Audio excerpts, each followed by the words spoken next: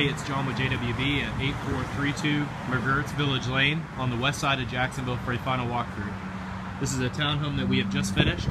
This home is a three bedroom, two and a half bath. Front door takes us to the entry living room and dining room. This is the half bath. Has a pedestal sink. Kitchen has a pass-through window that looks into the dining and living room. It's a good-sized kitchen.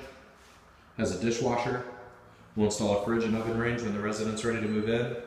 That's the back door and the laundry closet for the washer and dryer.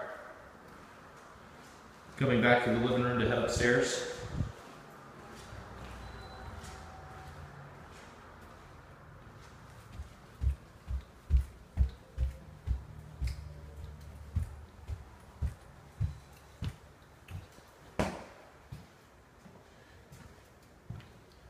First bedroom is the master. This is the master bath. Has a stand-up shower.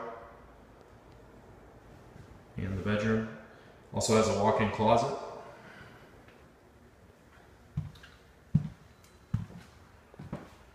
Hall bathroom has a tub enclosure. Bedroom two is the middle bedroom. And the back bedroom is bedroom three. So that's it for McGirts. It's a great place and now ready for rent.